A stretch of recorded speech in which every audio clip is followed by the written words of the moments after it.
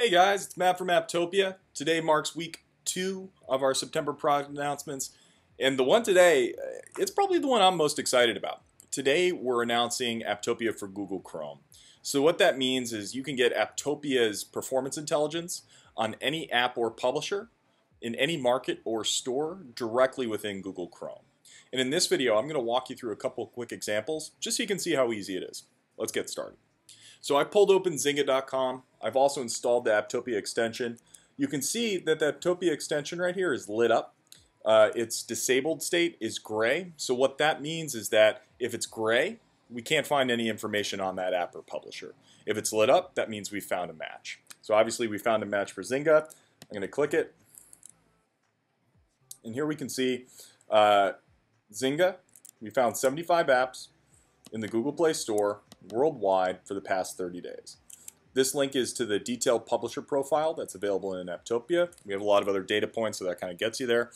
And then we provide uh, estimates for kind of key performance indicators.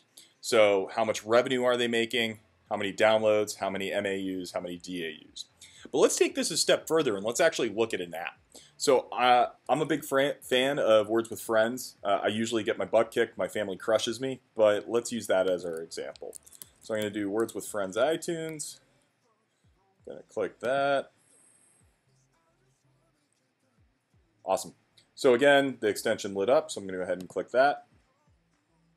And we can see that we're looking at Words with Friends, Word Game from Zynga, iTunes, worldwide, past 30 days.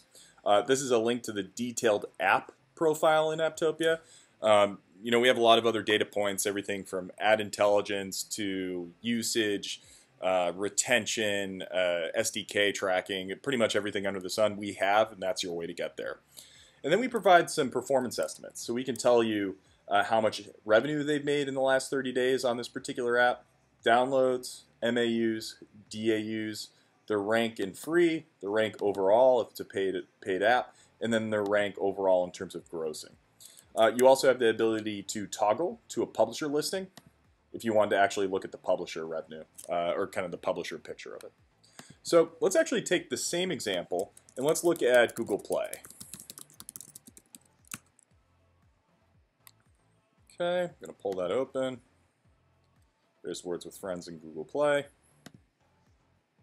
Cool, and we found a match. So again, we're looking at Google Play now uh, in the last 30 days worldwide, uh, and these are the estimates for that app in that store. Now let's say we actually wanted to break this down a little bit. So we could go, let's say we want to look US. So we can actually flip this by market very, very easily. Um, and again, this is the link to get the full performance estimates and all the other cool data that we have on this app uh, in Apptopia. But we didn't stop there. We actually took it one step further. So uh, if you're a salesperson, a lot of the time when you're doing research, you're prospecting through LinkedIn. Um, Apptopia for Chrome works with LinkedIn. So we're looking at the Zynga company page. You can see that this is lit up.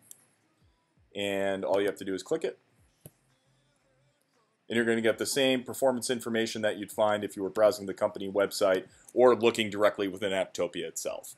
Um, couple quick notes for you guys. So one, you may have noticed that our data is in ranges here. Uh, the reason it's in ranges is this gives us the ability to give it away for free.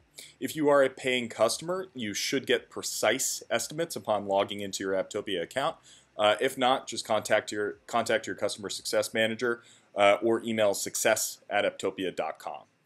Um, another note, this is an open beta, right? And we need your feedback to, one, add new features, but also just to make the app the best that it could possibly be. So uh, if you have any feedback, please join our Slack channel. There should be a link in the blog post as well as the comments for this video. Um, and also just be candid in your feedback. Tell us what's good, tell us what's bad, tell us what would make this even better. Um, that's all for now. Thank you guys for watching this quick video, and don't be afraid to give a shout out if you have any questions.